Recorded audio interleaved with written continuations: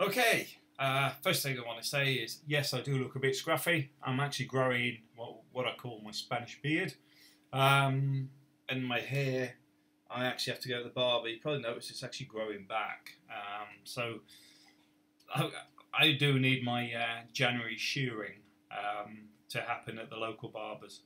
But anyway, a few things to cover. First thing is I've got some items that I'm not going to review now but we'll be reviewing soon. One's an in-car um, dash cam, underwater, uh, what do you call it, light system for your GoPro, which isn't just for underwater, it's good for night as well. And my MyCloud, which is my personal cloud, and I've also got a MyBook, um, which is where I store all my data. Uh, but I'm not going to talk about them too much. I just don't want you going, Matt, what's that in behind you? so we're going to talk about business today, and business relating to wherever you are. Um, the first thing I want to say is relating to people retiring and how they often get things wrong. Um, opening a bar, for example, is often done because people have sat as a customer in a bar, but the connection between the hours and the problems that come with running a bar aren't really covered. So they don't really look at it from a business point of view. They're looking at it, they they've sat behind the bar on a Friday for the last 15 years and it seems nice. They don't think about the drayman coming at 7, 8 o'clock in the morning and you're getting, it bed, getting to bed at half past 12 every night. Um, dealing with the promotion, dealing with the staff issues, dealing with trying to keep everything flowing, and the brewery often bleeding the thing dry. They don't really talk about that. Um, so they don't look at it from that perspective because it's not the bit that gets promoted. You need to talk to people in the industry to understand those things because um, I could do an entire video on that. I've done bars myself. I've I've uh, run bars. I've run restaurants, and I I've done it on quite a large basis. Um, I can cover it some other day because it's, it's too expansive. But what we're talking about today is the fact that many people will go into a business they have no knowledge or experience in. Um, going to the Philippines and Spain, um, pretty much anybody is moving to another country and they're not making money uh, online or have a good pension fund or something, they're going to be looking to make money. And one of the things they do is they, there is often a pattern of where people go wrong. Um, there's a guy here, I'll be honest with you, I dislike him. uh, he sold the same bar at least six times now, bar and restaurant, because I think he sells it on a lease and then what happens is he then buys the lease back at a reduced rate and then sells it on to somebody else. Or basically, the people giving the keys back because they're losing money. He knows he doesn't make any money, but he owns the actual building, he owns the restaurant, he owns the bar, and just keeps selling it and selling it. And I've seen it change six times in the last two years. Something to be very aware of because that's how a lot of breweries make their money on the pub side because obviously supermarkets stock beer now. Uh, when the breweries and everything went full swing, it was all on the tap, it was all fresh. But then somebody invented good beer out of a can, and the industry has been on decline ever since. So you've got to be aware of that. But also, if you've never worked in that industry, why would you want to open a bar? I've been watching this Bargain Brits thing, and you can YouTube it. They've got uh, two series of it um, online. There's a, the old last year's and this year's. It's got like uh, the first couple episodes on there, but you can see the majority of people are on there are either not making a lot of money, or they're from specific things. Some of it's to do with bars, some of it's to do with campsites, some of it's to do with the um, cabaret and the entertainment industry, but they're specifically orientated around tourism. And that's the thing. You may be changing your entire outlook on life, and you may be better off doing the adventure and calculations and understanding what you need to make every month and how you're going to make it before you even leave where you are now. Uh, for example, if you wanted to teach salsa dancing, I mean, I know here there must be a market for dancing. Um, Colin, uh, that actually, Colin was on one of these shows. Um, we're actually now Facebook friends. Um, he teaches dancing. Um, he he had uh, he come to Spain originally, had a good income, etc., etc., and then something went wrong, um, and he was left with just his pension, which basically covered his rent. So he started teaching lessons on dancing and stuff, and he's built a business up from that. So you have to understand that when you're looking at opening a business, especially overseas, you've got to have the drive and ambition to make it work. Don't assume it's just going to open. Don't assume that you can just give somebody the keys and think that these people are cheap. Um, they'll run it all, and I just sit here sipping on pina colada or whatever. Uh, because what will happen is the word bankrupt will come around. Because you have to find people you can trust. Don't assume you can trust people. Because the worst thing you can do is give people trust at day one. Now, it takes time to develop, but also takes time to develop systems to protect yourself. In a restaurant, for example, you get managers and bar staff or the chefs bringing in their own food, cooking it, and then selling it. Um, you're not even aware this is going on if you're not on the premises because they don't run it through the cash register because they're doing it as if it was their business and running it through on cash sales. I've seen it on bars where they're running extra pumps. Um, a friend of mine was asked to take over a bar many moons ago um, in Worcester. Now, it turned over X amount of alcohol, um, but for the brewery, they actually paid, the brewery actually paid him to run the bar because they needed to keep it open because the last person had been thrown out. Um, and a bar that's operational is easier to sell. So he was in there and basically he was bringing beer from his other bar uh, I'm not talking one or two barrels, I'm talking about three quarters of the alcohol drank on that premises did not go through the accounts of the brewery. They were coming straight from his pub and being pushed through there. Coming from cash and carry, straight through there. A lot of the stuff was not even hitting the tax. It was all completely invisible because nobody was interested in the operation of the place, uh, including himself. He wasn't buying it. Um, and nobody was monitoring what he was doing. So he was doing them a favour by looking after it for them, in his viewpoint. So he made some good money on that. Now, that's a prime example of somebody taking over your business and could do exactly the same. Um, it's not difficult to do. It's not difficult to be ripped off. The easy bit is finding an expat that has money and time to invest in something they don't understand or know very well. Um, they just need to be coerced into parting with that cash. Now, what businesses to look for? Now, for myself, I'm moving away from doing stuff hands on. I was talking to Jay today from Real Deal relating to an idea I've had um, to do with the English teaching stuff, where I'm going to invest 20 hours a week for about the next six weeks to boost it up. Um, there's going to be a separate income revenue for that um, because the idea being is that is going to pay for a mortgage on another property here. And the reason that one is viable is quite simply I'll hit it hard and put a lot of effort and time into it initially, and then I'm going to do nothing. It will go down to like one hour a week. Um, because once all the initial work's done, it will start feeding on a regular basis. Um, but I can't really discuss it too much because I haven't started it yet. I'm still working on it. But the point being is, these things are possible. And the good thing about that is global. I don't have to sit in an office or something that costs me rent, electric, um, tax rates, and everything else. It's all done from here. So that's a new ongoing thing that's going to be developing.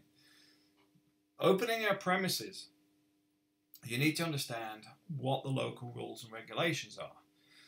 Because, back to Bargain Brits, uh, the TV show, there was a woman there, businesswoman, set up a campsite, and the local government closed it down because it's one square meter under what a campsite is technically allowed to be. So it was no longer a campsite because it was one square meter under. She then had it remeasured and showed that it was actually over that, but they then spent ages and I'm not even aware if they've actually agreed to let her open the doors again. But that is the sort of bureaucracy you get. You need to understand the issues locally.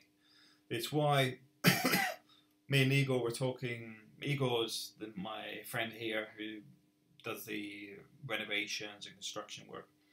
Um, he's got another project he's looking at at the moment to buy this big lot of land. Uh, it's not huge, it's um, about 13,000 square meters.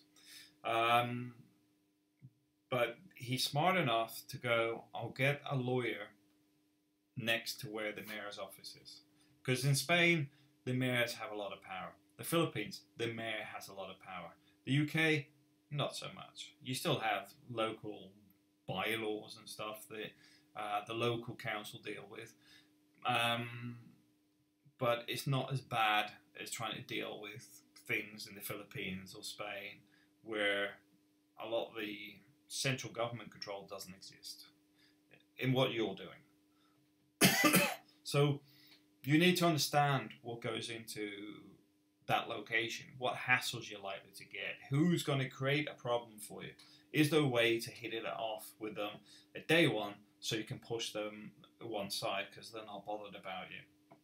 Now, in the Philippines, I'll be honest with you, if your business is small, they're not going to bother with you too much unless you've got neighbors that are jealous or have an issue with you in some way, um, because then you have the the bamboo telegraph where somebody will report you for whatever they can and they've got a relative that works in the mayor's office and then you have a problem getting a permit and you get a problem getting your uh, fire certificate whatever it is because of politics. You need to be aware these things happen and plan for it. Um, so this is even before you've even got your business idea. This is before you've even thought you know what, this is what I want to be doing. Because you need to understand that you're going to have problems. As soon as you got problems, you just list out, get a bit of paper, list down what you think may be a problem in that location.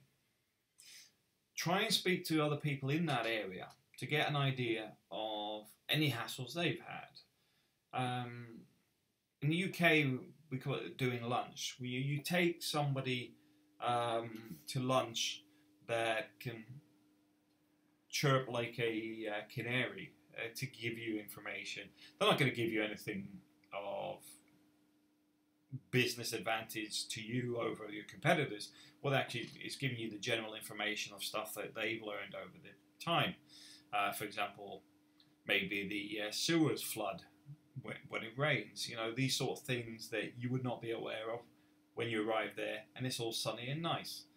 Those are the things that can make a big difference on a business because if you open in the uh, rainy season, you could suddenly find that day one it's flooded. So just it's worth the investment and understanding where the business is. It's worth spending time looking at the people that use that area, the people that access the, the type of business you're setting up, what road routes is there? What what is going to make your business a success? You've got to ask yourself, what do you think will make this work? Also, turn around and ask somebody else to ask you. Ask a few people to ask you and what they they think about the ideas, because you're trying to limit risk and increase the opportunities and chances of success, and that comes from research. If you're opening the bar next to another bar, what's going to make your bar better than their bar? That's a simple one. If you're buying an existing business and it's busy when you went there on Friday night, I recommend going there Monday afternoon, Monday night, Tuesday night, Wednesday. Spend as much time as you can in there because you'll find when it's off peak. Because it may just be busy on a Friday night because everyone comes in from work, got paid, spend all the money, then go home, they've got no money for the following week. These are the things you're looking for. Now, next thing is supply. Supply of goods is a problem in some countries and others not. Uh, Philippines is improving. Uh, it used to be quite bad for getting things like uh, imported alcohols of, of certain types. Also, um, things like dough for making food. You know, some things were awkward to get hold of, um, but often often can be time sensitive in the sense that you can't bulk buy the things because they they spoil. So there's a lot of things that you need to evaluate. Have you got access to the right supply? Next thing, is it the right price? Are you going to get the goods you want at the right price? And is there going to be another issues? For example, if you ramp up, will they be able to supply you? Or are you going to need two or three suppliers? Is it worth getting two or three suppliers if you're opening a bigger place to try and get them to compete off each other and get a lower price between them? All these things is stuff you evaluate. And like I said, this is before you even got to the business idea. And this is why I've sort of pushed aside when somebody goes, Matt, what business do you recommend? The answer is, what business do you think or know you can do? Um, for example, here, I recommend air conditioning. Um, doing air conditioning to European standards because a lot of people don't. Um, they're using the wrong pipework. Let's just call it they're not installing them properly and they certainly ain't maintaining them. Because they have a lack of knowledge on how the systems work, they may advise you to change the whole system when it just needs new seals and regassing. Now, if you're good at what you do, invest a bit of money in yourself and make the uh, grade becoming qualified and skilled at what you do I think there's a business here in Spain for doing that. I don't. I'm not just about literally where I am, but in other parts of Spain. Um, but the point is, I was trying to get away from actually giving people business ideas. Uh, not because I'm being negative, but quite simply, I think people need to sit and think these through, things through themselves. Because it, if you go in the Philippines, island to island is very different, but even province to province on the same island have different skills. Minglanilla, where my wife comes from, is famous for its tailors. If you go to Manila, they know the tailors and tailor, uh, seamstresses come from Minglanilla. They're famous for it. Carcar is famous for leather shoemaking. There's different areas have different skill sets.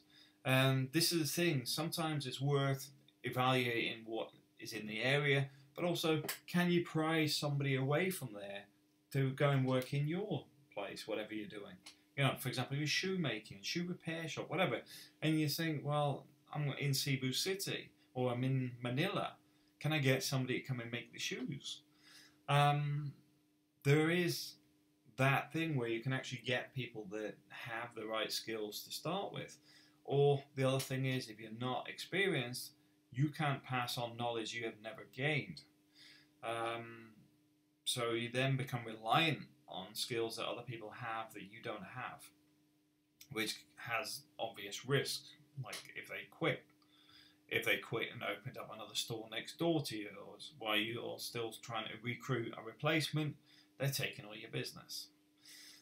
Um, yeah, employee royal, uh, loyalty is often a problem as well, depending how big the business is. In the Philippines, if it's a small business, it's very common for somebody to train somebody and then they set up, uh, for example, a barbecue station. You've got a successful barbecue station, you train somebody how to do it, and they'll open one right next to you.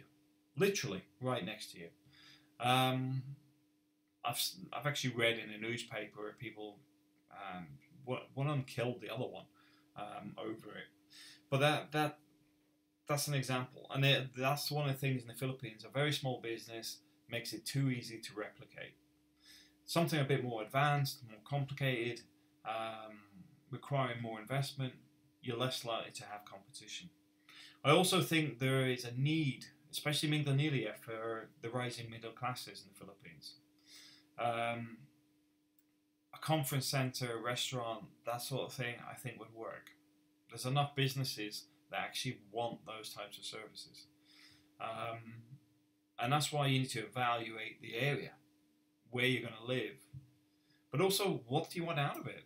Are you looking for an income? Are you looking for something to do? Are you looking to have something that doesn't tie you down?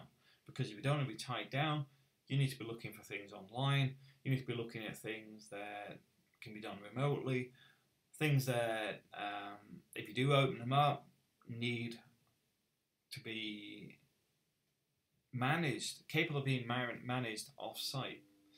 Um, you don't want to be micromanaging, and this is why you need to spend a lot of time on all this stuff. This is why I haven't done these videos before. It's already 21 minutes, and I'm only just covering the very, very basics before I even look at something. Um, but then you've got the budgets. Where do you get your budgets from? What what budget do you need? You've got to be, got to put a budget for the business itself, but then have an emergency budget set aside as well. The emergency budget is for the unforeseen. This is like having um, like a Korean guy had uh, with his uh, computer business. He had the customs guys come in and basically shut his store because they want a bribe every month. Now, that isn't in your business model, but in many countries it's very common. In Russia, they call it a roof. Uh, basically, a roof in Russia will protect the business. There are normally um, they're normally ex KGB agents, etc., ex special forces, um, that basically will protect your business. They will keep away the gangsters. They'll keep away the problems. Um, in the Philippines, I normally find if you have a good relationship with the mayors, you generally don't have a problem. Um, I haven't come to a location that hasn't been down to the mayor. You know, if somebody's had a situation that's good or bad, the mayor's be, had some input somewhere. Um, if it's good, it's normally sometimes they're not involved at all. They've got no interest in your business whatsoever.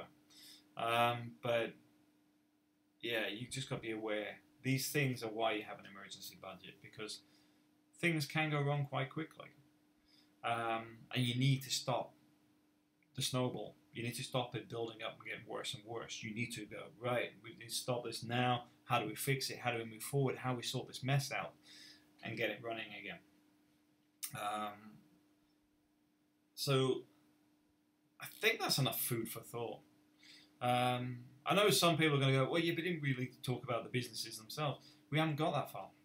This is why I haven't really talked about it. It's such an expansive subject that before walking into something, you evaluate everything. I'm looking at a property here in Spain that has a damp issue, but the first thing I noticed when I went in there is it's got no air conditioning, no heating system. It was constructed in 1981 and has never been heated. So instantly I'm thinking, is this a problem with the building or is this a problem with the fact that they only use it in the summertime and it's left empty the rest of the year? Because the damage, it's repairable but bad but ongoing, how to make sure it doesn't reoccur. Cause and effect. Doing your due diligence. All the big things that people will say, do your due diligence and this will all be out. But I hope I cover things a bit more expansive and I'm not going to cover it too much on this because it's already a long video, but you can leave comments below and I'll expand it out. Um, because I think this gets the conversation started and then we can discuss things in the comments section and maybe throw in some other videos once people have had a review of this one and thought, well, I want to know about this. So thanks for watching.